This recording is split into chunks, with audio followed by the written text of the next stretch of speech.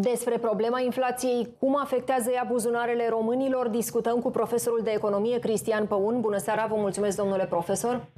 Bună seara! Care este explicația pentru care suntem campioni la inflație în Europa și uh, cum vedeți uh, trendul pentru finalul acestui an? Atâta timp cât nu rezolvăm problema deficitului, presiunea asupra inflației va rămâne una uh, foarte ridicată și inflația va rămâne riscul major macroeconomic al României pentru perioada următoare.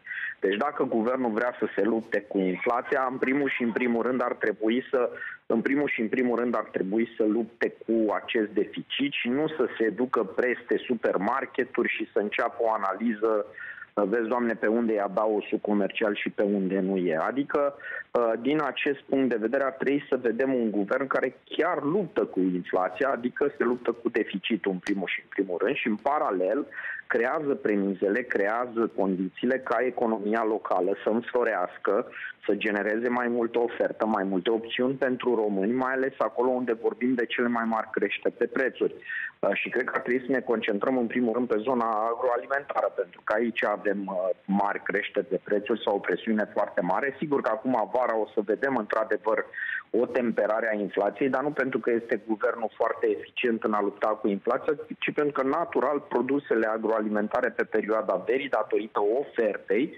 încep să se ieftinească. De asta uh, poate guvernul se uită puțin la ce înseamnă vara pentru români și de ce scad prețurile vara și cresc la loc din toamnă uh, mai ales la aceste produse. Pentru că este vorba de ofertă. Dacă o înflorim oferta, și încercăm cumva să prelungim uh, durata de, de, de utilizare, de consum a produselor Uh, românești sau a produselor autohtone, putem să vorbim de o luptă cu adevărat contra inflației. Și sigur, guvernul trebuie să facă tot posibilul să nu mai genereze putere de cumpărare din bani pe care nu i are, promițând în stânga și în dreapta majorări salariale, tocmai ce ați dat un exemplu în știrea anterioară.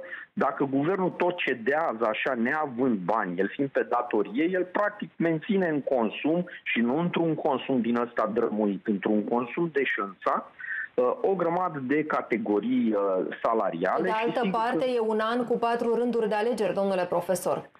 Păi da, dar nu-i atragi uh, la vot sau n-ar trebui să-i atragi la vot vânzându-le iluzii sau cel puțin uh, generând un mare chef național pentru care vom plăti cu toții oalele sparte în anii care vin. Adică uh, ar trebui să fim totuși cât de cât raționali, inclusiv și prudenți și să încercăm să, să spunem și nu în acest an electoral, pentru că fiecare da pe care îl spunem cu promptitudine înseamnă probleme mari în perioada următoare și n-ar trebui să sacrificăm uh, investițiile din perioada următoare, n-ar trebui să sacrificăm dezvoltarea României în perioada următoare pe aceste gafe sau pe aceste, cum să spun, acest populism pe care îl afișăm în acest, în acest moment. Da, deja suntem spre jumătatea anului electoral, se apropie încet încet și alegerile, vor trece uh, toate aceste scrutinuri pentru care ne pregătim. Uh, ce urmează de la anul? Care va fi nota de plată despre care vorbiți?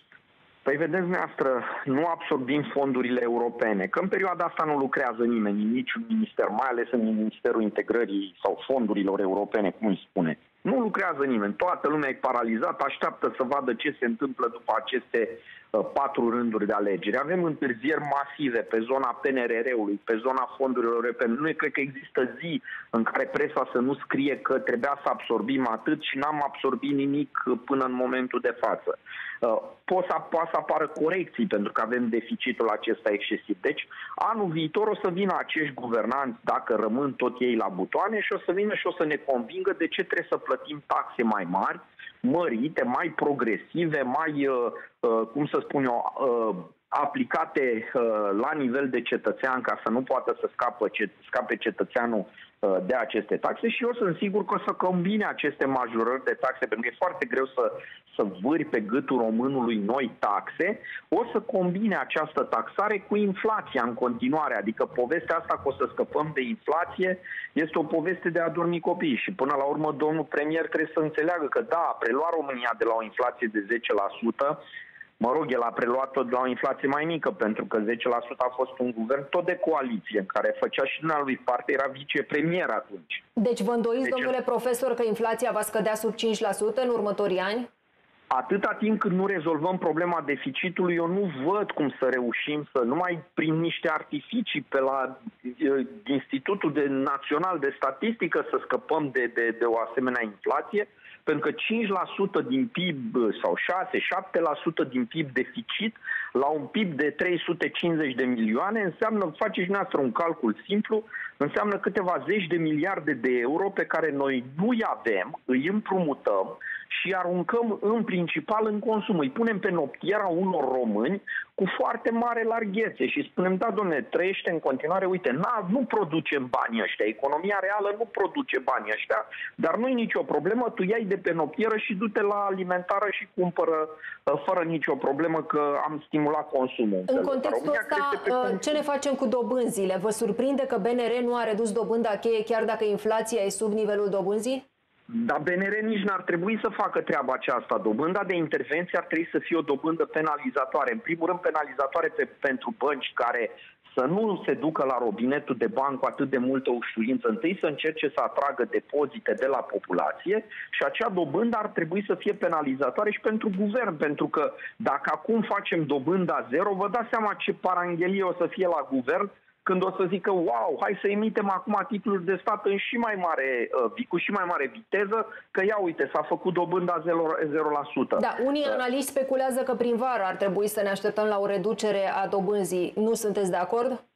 E legată de inflație această treabă. Până la urmă, eu mă bucur că măcar Banca Națională a înțeles situația corespunzător și deocamdată nu pune paie pe foc. În primul rând, nu dă voie guvernului să acceseze robinetul de bani, reținându-l acolo, cum să spun eu, la un cost comparativ cu inflația și doi, e foarte bine că această dobândă este o dobândă care ține pasul cu inflația și nu este sub inflație. Pentru că dacă ar fi sub inflație, asta ar însemna că Banca Centrală oferă bani ce băncilor în principal, care apoi oferă guvernului banii ăștia, oferă bani cu dobândă, cu, cu o pre, un, pre, un premiu. Adică te duci și te împrumuți de la Banca Centrală cu dobândă real negativă, de fapt tu primești niște bani ca să te împrumuți de la Banca Centrală. Deocamdată acel 8% pe care îl are Banca Centrală la facilitatea de credit, din punctul meu de vedere, este corect și reflectă situația macroeconomică din acest moment. Vă mulțumesc foarte mult!